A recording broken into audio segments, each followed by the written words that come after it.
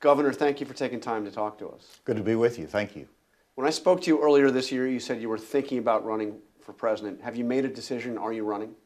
I have made a decision, and my decision is I'm going to run for president of the United States. While the formal announcement will be later in April in Bentonville, uh, I wanted to make clear that to you, Jonathan, I am going to be running. And the reason, uh, as I've traveled the country for six months, I hear people talk about the leadership of our country, and I'm convinced that people want leaders that appeal to the best of America and not simply appeal to our worst instincts. And that inspires me when I see everyday Americans just saying, give us good leadership, give us common sense, consistent conservatism, and optimism about our great country. And uh, that inspires me, and I believe I can be that kind of leader for the people of America. Now, you've got a lot of experience. You've been a prosecutor, you've been a member of Congress, you've been a governor, you've been the director of the DEA. But most people outside Arkansas don't know who you are. How do you break through? Well, a lot of hard work and good messaging, but I've spent some time in Iowa and I love the response that I get there. Uh, and so it's still about retail politics in many of these states. And also, this is one of the most unpredictable political environments that I've seen in my lifetime. And so my message of experience, of consistent conservatism, of hope uh, for our future, and solving problems that face Americans, uh, I think that that resonates. And so uh, I want to campaign, and uh, whenever I make the final announcement, I'll be everywhere. And I think it's a plan that can work in this environment. And how does the indictment of Donald Trump by the Manhattan DA change this race? Well, that adds to the unpredictability of it. And I think it's a sad day for America that we have a former president that's indicted. Uh, and so it's a great distraction. But at the same time, we can't set aside uh, what our Constitution requires, which is electing a new leader for our country, just because we have uh, this uh, side uh, controversy and criminal charges that are pending. And so we've got to press on, and the American people are going to have to separate uh, what the ideas are for our future. Going to talk about border security and the economy. We have to talk about those. We have to talk about the leadership of America in the world whenever you have Russia and China taking advantage of any weakness that America shows. So we can't be sidetracked for a year and a half. You suggested recently that if Trump were to get indicted, that he should drop out of the race. Do you believe that now that he's been indicted? Should he drop out? Well, I do, and for a couple reasons. I mean, first of all, the office is more important than any individual person.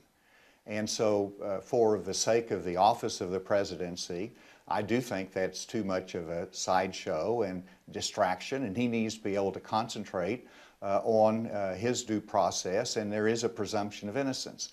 But the second reason is throughout my eight years as governor and as a political leader, I've always said that uh, people don't have to step aside from public office if they're under investigation. But if it reaches the point of criminal charges that have to be answered, the office is always more important than a person. And so there's some consistency there. And I do believe uh, if, if we're looking at the presidency and the future of our country, then uh, we don't need that distraction. And he needs to be able to concentrate on the legal issues that he faces. And he should step aside and no longer run. Well, he should, but at the same time, we know he's not. And there's not any constitutional requirement. And so uh, he's going to pursue, and I understand that, but I stated my principles and belief and how uh, I think it should be handled. But he's going to proceed on, and so uh, he's going to be a candidate. And I think ultimately the voters are going to have to decide this. And I'm not supportive of Donald Trump. I want to provide an alternative, but I'm happy if the voters make that decision and choice. Uh, I don't support, uh, I don't like the idea of the charges from what I've seen uh, coming out of New York, uh, but the process has got to work. And we've got to have respect for our criminal justice system, but also for the office of presidency. Do you trust this process in New York? Do you think he can get a, a fair trial, a fair hearing in New York? Well, the important thing is that the grand jury found probable cause. And that's the standard for any criminal charges in our society. And then the presumption of innocence follows you. And then there's a trial and uh, the determination of guilt or innocence. That's the American system. Thousands of people face that. Some are found not guilty, some are found guilty, but it's the American system. And so uh, we don't while we might disagree with what's happening, we don't want to erode confidence in our entire criminal justice system uh, simply because uh, we don't like uh, the beginning parts of the case. And what about the way Trump has talked about this? I mean, obviously, there are just some vicious personal attacks that he has made uh, on Alvin Bragg. He's uh, called him an animal, he's called him worse than that. Um, and he has said that this will bring death and destruction to America. Well, let's rephrase this because we don't want uh, the next 18 months to be focused simply on Donald Trump and his legal issues. Mm-hmm. And uh, Donald Trump says a lot of things, and they don't always appeal to the best of America. And so I'd rather focus on what uh, our future is about and how we can solve problems and how we can come together as Americans. What about the fundamentals of the case? Put aside the, the legal issues here. The idea of hush money for a porn star to conceal an alleged affair.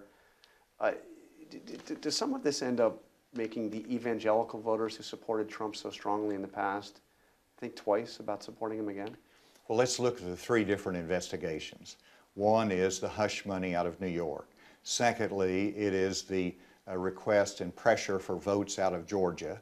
And the third one, of course, is the mishandling of classified documents in Mar-a-Lago. Those are three very serious investigations. You might say one of them doesn't showcase anything, but when you look at all three of them combined, it should give Americans pause. When you ask about the evangelical community, uh, I'm part of that. Yeah. And, uh, and, and I believe that uh, the evangelical community understands that we need to have a leader uh, that can distance themselves from uh, some of the bad instincts that drive Mr. Trump. And I hope that we can do that in the future. Why has his support from that community been so resilient? Because this is not the first time we've seen bad behavior from Donald Trump. Well, I, I think you have to look at the evangelical community, and I think they understand that uh, America needs to move in a, direct, in a different direction.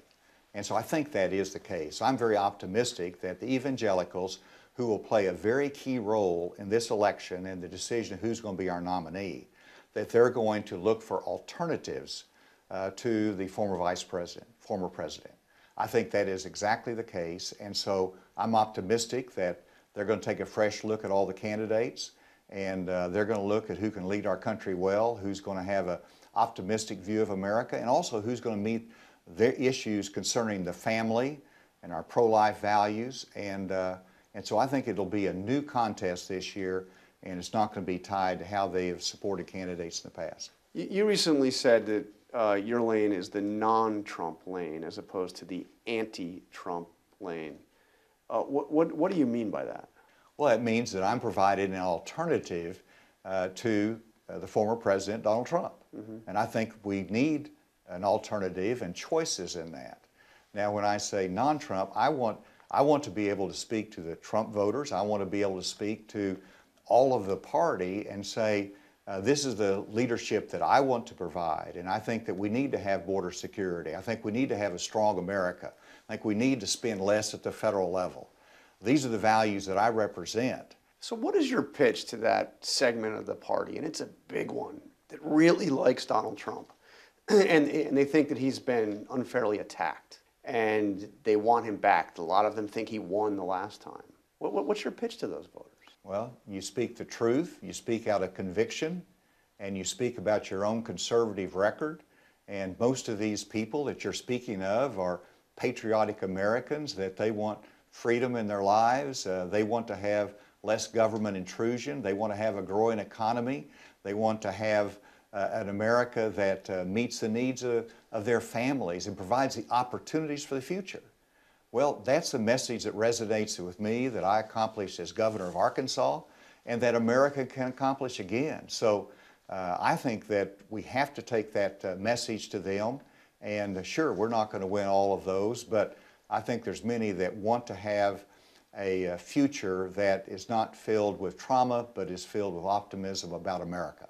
And you think you can get those hardcore Trump voters, at least some of them? Well, you're going to compete for them.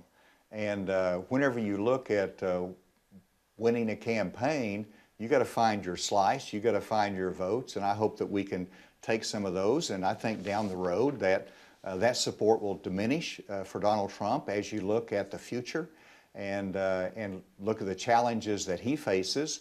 And, uh, and whenever you look at how we're going to be on the world stage and who's going to lead us, it needs to be somebody different uh, from President Biden and his policies. Uh, so who's that going to be? And I think uh, my record, my consistent conservatism is one option I hope they'll look at. Chris Christie, speaking in New Hampshire recently, said that the key is Republicans need to be fearless in taking on Donald Trump. That does not seem to be the case with, with, with a lot of Republicans, including a lot of potential Republican presidential candidates, who are reluctant to criticize him almost at all. Well, I think that uh, I think that sets me apart for one reason. Mm-hmm. Uh, while uh, I want to present my positive image and uh, view of America and our future, at the same time, I'm going to distinguish uh, my views and how I would lead from the other candidates, and that would include uh, former President Trump. And so, I, Chris Christie's voice is important. I hope he continues to hammer away at his view of America. But I don't think you're going to find anybody bashful uh, in the Republican primary. Uh, if you get in, you're going to fight for those votes, and part of fighting for those votes is to distinguish yourself from the other candidates. I'll do that, and others will as well. well I mean, look at how candidates and potential candidates have reacted to the indictment. Uh, I mean, they've, they've rallied to Trump's defense effectively. Well, that sets me Not you. It sets you apart, not you. Well, and that's part of it. You set yourself apart. You say, uh, this is what I offer. Uh, this is who I am. And uh, I hope that that uh, resonates. I know there's going to be some that say I should be tougher uh, on the prosecutor. I should be uh, tougher on the unfairness of this. I've expressed my view that I wouldn't bring those charges if I was a prosecutor. But let's let the system work. And what I don't want to do as a leader is to undermine everything that is good about America, which is our criminal justice system. That's what sets us apart uh, from China. That's what sets us apart from Mexico. Our system works. And let's don't undermine that every day. I mean, there are a lot of Republicans attacking that judicial system and that legal system right now. And I'm different. If Donald Trump manages to win the nomination again, becomes the Republican candidate for president, will you support him? Well, I think the question comes up about the debates and what Yeah. the rules of the debates are. Uh, but uh, I'm running because I believe uh, that I am the right time for America, the right candidate for our country and its future. And uh, I shouldn't hinge upon uh, anything else. But you couldn't see yourself supporting Trump again.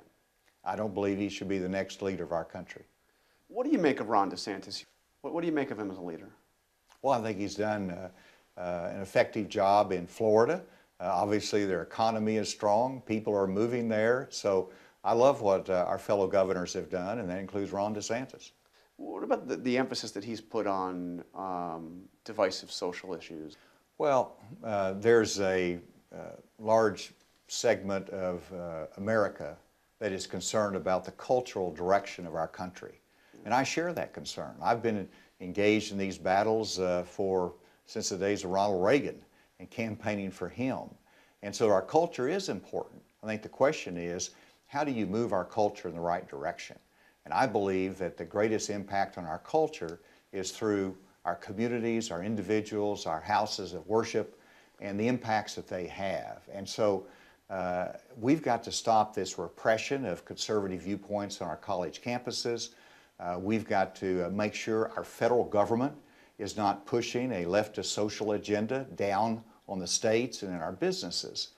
Now, how you resolve those issues is a, is a debate. Uh, but I think there is a legitimate concern of the American people, and I share that concern. And, and you've also said consistently government under a conservative philosophy should be restrained. DeSantis has been quite assertive. Well, I do believe in the limited role of government. And whenever you look at a concern, you have to debate is this something we need to pass a law and tell business what to do? Or should we stay out of and let business, as we have historically done in our country, uh, run their place of business as long as uh, they're not violating uh, some uh, fundamental uh, principle of fairness and, and, safety in the workplace. And so there is some differences of view, absolutely. Uh, you know, the legislature supported him in, in many instances, but I think we as conservatives need to stop and say, is this the role of government uh, to tell business what to do? Because that's the tool of the left. The left wants to say uh, government needs to step in and, and tell you you've got to invest in ESG, you've got to invest in, in green energy. Well, I don't like government telling them uh, what they should do uh, on the left, and I don't think we ought to use the same tool on the right.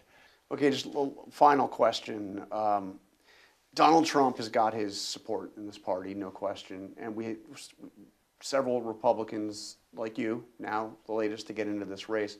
Is there a concern that the anti-Trump vote and the non-Trump vote will be divided, and Trump will go ahead and be able to win?